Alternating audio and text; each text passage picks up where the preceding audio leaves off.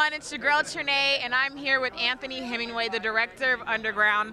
I'm so excited because I feel like every time I watch this show, I have so many questions. And what I want to ask you is what goes on in your mind when you're putting these stories together and in the limited time that you do have to put it together? I mean, I definitely create a lot of brain damage. I'll say that. You know, it's challenging um, doing this show in the way that we have to do it, but because we all love it so much and we're so passionate about it, it's almost easy. You know, everyone comes to work every day with that love and support, um, holding each other up because it, it, we really behind the camera and in front of camera really represent the bond I think collectively that we need and that that love and support with one another. Um, you know, it's just we do it. You know, it's not just what we're portraying or what we're putting on screens, but we live it every day.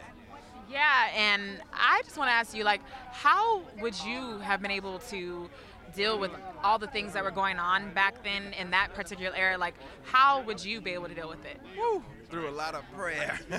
you know, I, I, mean, I'm a product right now oh, of a praying family. My grandmother and my mother sent up some mighty prayers to help get me to where I am. And, and you know, as we've shown in the show, I think, and what was so true back then and then that we've gotten away from now is that collective bond, that support, that camaraderie, that love for one another. And to know and realize that you can't do it alone. You know, it takes more than just yourself and all the gifts and talent and skill that you have. It takes everyone around you, I think, to come together arm in arm to make it through. um, and it's just really great to realize that this show, I think, is a beautiful blueprint for you know the healing mechanisms that we're looking and searching for today.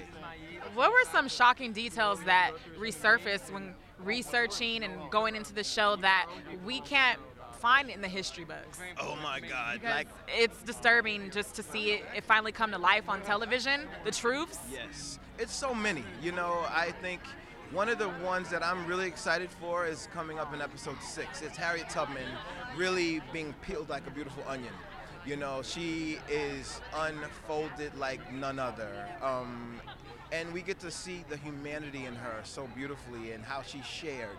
You know, there's an episode that we keep calling Harriet doing a TED Talk. It's where she got out and started doing public speaking, risking her life to help others. You know, and that's what happens with this season as we come into season into episode one. We realize that freedom isn't a place that you search for. You know, it's the reality that each of the characters are challenged with to realize that once you are free, what are you going to do with it? Are you just going to be happy and be a citizen, or are you going to be a soldier and go back and fight for more?